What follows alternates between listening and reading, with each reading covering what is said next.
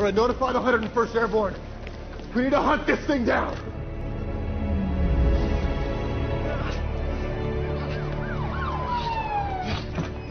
Harley!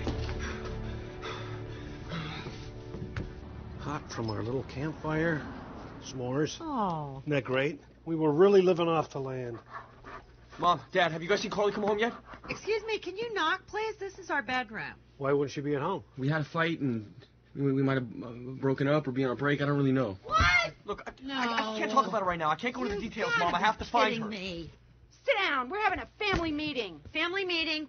You may not know this, but your father and I were not always this perfectly happy. You know, there was a time in our marriage when I thought this was not going to work out. I'm Can we please not? trying to understand. damaging him. You break up with one world-class hottie. No, stop, stop. Yeah. Okay? She dumped me. I moved on to something better. That's it. I'm a The happier second person. beautiful Why girl, don't you you help me? loser. They What had do you an expect? You're a argument. good-looking One fight. kid, but you're not going to get a third one. I mean, unless you have like a big. What the f- Maybe you don't know. mom, mom, Maybe you mom, just don't mom.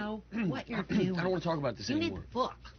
You're Tell always wrong. book. Get used to it. Okay, this you got to read this. She comes first. There's some killer shit in No, here. no, no, no. Oh, that's it. And no, no, no, no. Sit down. Sit down. Back me up. Happy wife, happy life. Yeah. Unhappy wife, stone cold misery for the rest of it.